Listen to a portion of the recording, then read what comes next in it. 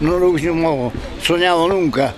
Este, más en el momento en que estuvimos detenidos, que en, esa oportunidad estuvimos en la, cancha de, paleta pelota y este estaqueado, en el, cuerpo a tierra estaqueado, con las manos extendidas, sin movimiento, y nos tuvieron, a mí me tuvieron ahí desde las 12 del mediodía hasta cerca de la medianoche.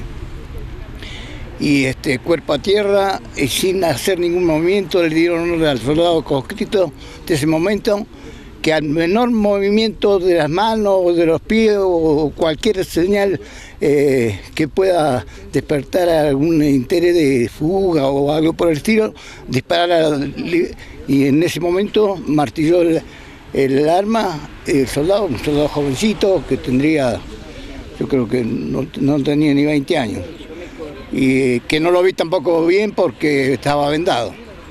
Así que de ahí a las 12 de la noche me llevaron a una, a una salita donde eh, había calefacción, porque en la cancha no había techo ni había calefacción, era el mes de marzo. Y este, empezó un, interrogatorio, se ve, me hicieron sentar en una silla y prendieron, se ve que en ese tiempo no había gas natural, así que prendieron una garrafa, se sentía el ruido de la quema del gas y este, papeles sobre una mesa, papeles de, escritorio. Y bueno, y ahí por ahí se hacían algunos chistes entre ellos, se ve que habían varias personas y empezó el interrogatorio. Por suerte, con toda franqueza, no tenía nada que ocultar, duró como dos horas más o menos, eh, se dieron por, por cansados, por vencidos, porque pensaron que era cualquier cosa, no, yo lo único que tenía público era militancia política, militancia gremial y estaba en todas las, eh, en todas las oportunidades que había en ese momento, en el renacimiento del sindicalismo. Y este, bueno, eh, en ese momento, eh, mientras preparaba el interrogatorio, este, con la, estaba sin comer, sin este, beber, sin sin abrigo ninguno, y entonces empecé a tiritar. Y en eso se arrima un, alguien y me pone una marioneta acá en las costillas, pero suavemente. Y me dice, no tirites, me dice. Pierda cuidado que no es de miedo, dije. Se reían los tipos. Al, reírse sentí la sonrisa, me di cuenta que venía suave la mano. Yo dije, acá no va a pasar nada grave porque se me hubiesen pegado un culatazo y sin embargo no pasó. Así que llevaron adelante todo el interrogatorio este, y no, no, no, pudieron comprobar nada. Iván, imagino que el poder recordar esto y que esto quede señalado en la jornada de hoy, póngase acá junto con, con, Germán, eh, también sirve para marcar y preservar en la memoria a aquellos que a diferencia de ustedes no, no lograron salir de aquí, ¿no? Sí, eh, lo que pasó en este lugar eh, a uno lo lleva a reflexionar permanentemente, porque mm, los derechos humanos, el derecho a las personas, eh, es atribuido en, la, Constitución Nacional, para muchos sectores no tiene sentido, porque los gobiernos tienen, cuando asumen una filosofía con respecto a los derechos de las personas. Y algunos eh, escatiman el esfuerzo de que todos los días el ciudadano tenga más derechos. Eh, algunos gobiernos son de derecha, otros no son de derecha, pero fundamentalmente eh, a nosotros nos pasó fundamentalmente porque tenía un pensamiento peronista revolucionario. Revolucionario en el sentido de cambiar situaciones. Nosotros nunca, a pesar de que en el país en aquel entonces había una guerra permanente, las únicas armas que teníamos nosotros era la filosofía de la reivindicación laboral.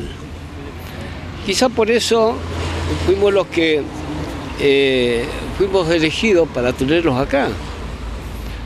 El tiempo que yo estuve acá, casi lo mismo que él en el sentido de la metodología militar, era em, a ver si aflojabas o si flaqueabas o si caías en la desesperación y, posiblemente empezar a vender compañeros. Decir, bueno, porque las preguntas y el interrogatorio apuntaba a eso. Em, quizás eh, voy a decirlo de otra forma, si nosotros cuando me acuerdo, eh, yo, declaré en su momento que una persona mayor que me estaba tomando declaración me dice, usted podía colaborar con nosotros. Viste, vos estás vendado, muerto de frío, muerto de hambre, eh, te apretaban a cada rato y mm, eh, por vos pasan muchos sentimientos. Y uno de los sentimientos es la supervivencia. O vos tenés convicciones por las cuales estás hecho y permaneces luchando por esas convicciones o te entregás. Nosotros no, de aquí salimos em, sin, sin, haber pasado eh, por acá a un compañero que nosotros vendimos. Entonces, de, todo lo que nos pasó, nos queda una reflexión. Una reflexión para ustedes, para todos. Para todo ciudadano que cree que todos los días no tiene que salir a luchar por preservar la vida, la democracia, el vivir entre todos nosotros en una comunidad en la cual no importa cómo pensás, sino cómo podemos unirnos en un solo pensamiento o en un proyecto común de la ciudadanía. Em, y no permanentemente estar al lado de aquel que piensa, porque en algún momento la ciudadanía dio poder para disponer de la libertad diaria. Entonces, ese pensamiento debe ser comunito en la reflexión permanente del ciudadano. Yo tengo 69 años y le digo siempre a mi hijo o a cualquier pibe que esto no se, a nosotros no lo regaló nada a nadie, pero esto lo debe mantener la ciudadanía para que, para que el país sea más libre, para que el país tenga más derechos, para que el ciudadano salga de su casa a trabajar y vuelva a su casa, y para que su hija no sea raptada y para que nadie tenga el derecho de dañar a nadie. Pero esos derechos todos los días los tenés que abonar, porque el poder, cuando vos no haces nada por esos derechos, te los allana.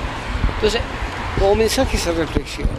Yo soy un ciudadano más, pero que va a mantener todos los días ese pensamiento.